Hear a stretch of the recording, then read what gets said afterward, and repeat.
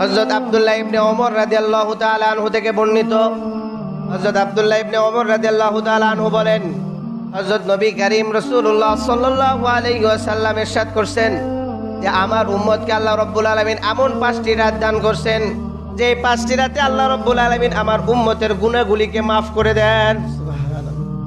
এমন পাঁচটি রাত আল্লাহ রব্বুল আলমিন আমার উম্মতকে দান করছেন, যে উম্মতের জন্য এই উম্মতকে আল্লাহ রব্বুল আলমিন ক্ষমা করে দেওয়ার জন্য এই পাঁচটি রাত দান করছেন। যে পাঁচটি রাতে আল্লাহ রব্বুল আলমিন এই উম্মতকে কি করে দেন?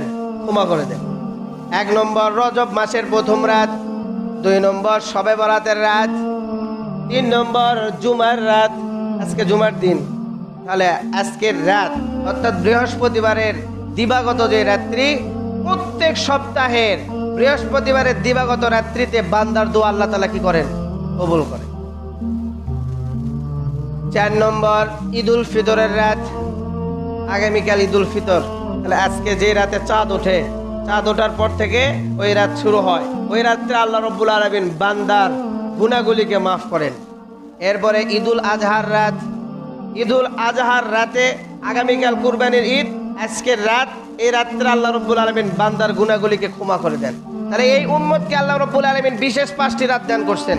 সবার সব সময় মনে রাখা দরকার যে এই উম্মতকে আল্লাহ রব্বুল আলমিন এত উপহার দিচ্ছেনই তো। তার মধ্যে আবার রাত পছন্দ করেন আল্লাহ রব্বুল আলমিন।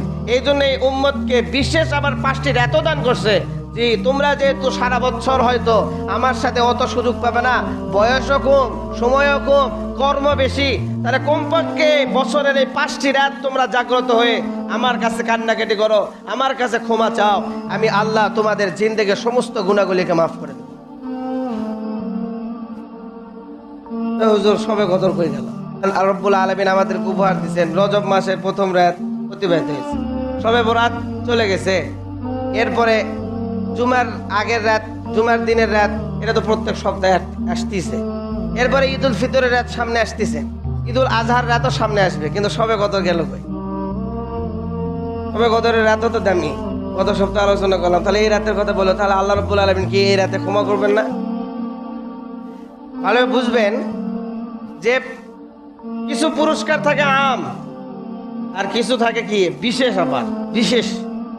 এই পাঁচটি রাত আমভাবে সবার জন্য পাঁচটি রাতের ঘোষণা করছে যে এই পাঁচটি রাতে আমি ক্ষমা করব, ক্ষমা করে দিব। আর সবে কত রাত পাঁচটি রাতের মতো না, যে পাঁচটির সাথে জোড়া দিবে। আপনার কাছে ছয়জন ব্যক্তি আসছে, পাঁচজনকে আলাদা করছেন আর একজনকে আলাদা করছেন। তার মানে কি, এই পাঁচজন আপনার কাছে বেশি মূল্যবান, কিন্তু এই একজনকে আবার আলাদা করার দ্বারা এটা বুঝে গেল যে পাঁচজনের যে মূল্য আপনার কাছে, তার চেয়ে বেশি মূল্য এই ব্যক্তির। নাকি?